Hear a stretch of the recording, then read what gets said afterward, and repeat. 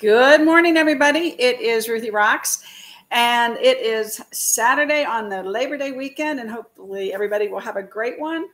We're going to do the stats for September 4th, and we have 23 days of inventory. Open on my microphone. Hold on, everybody. I don't have my moderator here today, so we're not didn't do a sound check. So let me make sure. Okay, I think we're on. I'll do my tech check. Always have to do our tech check, make sure that uh, I'm not talking to nothing. so hold on, let me make sure we're live and you can check. hear me. Yep, there we go. You can hear me. So yeah, 23 days of inventory. Um, interesting. We listed 73 homes yesterday. That's condos, single family, and townhomes.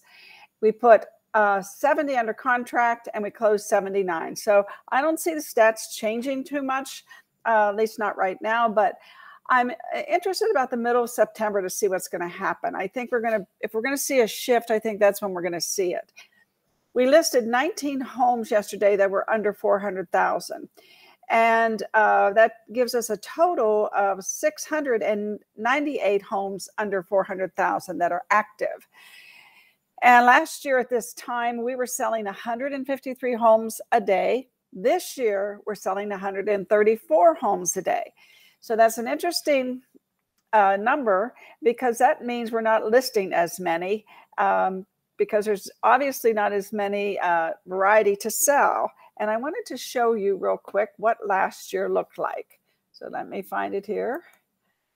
See where it went. It's always fun. Okay, let me do this. Let me hide this year and let's look at last year. So last year, we had 6,666 um, uh, home, 6,603 homes uh, available. And that was 1.6, almost 1.7 months of inventory. Very interesting.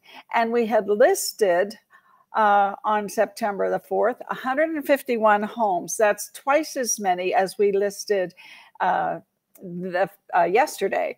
So we are way behind. And um, that's what's giving us, of course, the uh, the only uh, what do we have 23 days of inventory versus last year when we had 1.7 months of inventory so things uh, things have shifted and uh, I love comparing, you know, what what happened year to year.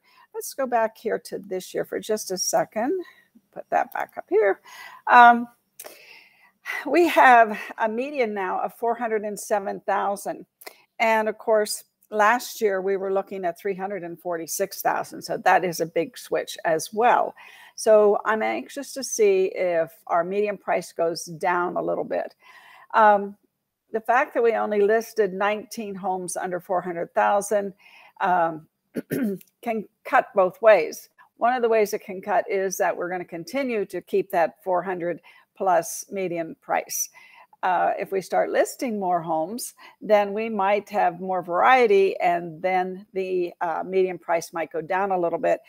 And actually, I think that would be a good thing. And I hope after Labor Day and toward the middle of September that we start listing more homes so that that median price maybe gets closer to 400,000 because then I think we'll be able to get more entry level people back into the market. Um, if you look at the uh, the I guess it's the median household income. The median household income can afford a house uh, for three hundred and seventy-five thousand dollars to four hundred thousand based on their credit score and their interest rate. So that it's that's a very touchy area right in there. So hopefully we'll list more homes. The median will come down a little bit and we'll be able to bring more people into uh, home ownership uh, as with these low interest rates.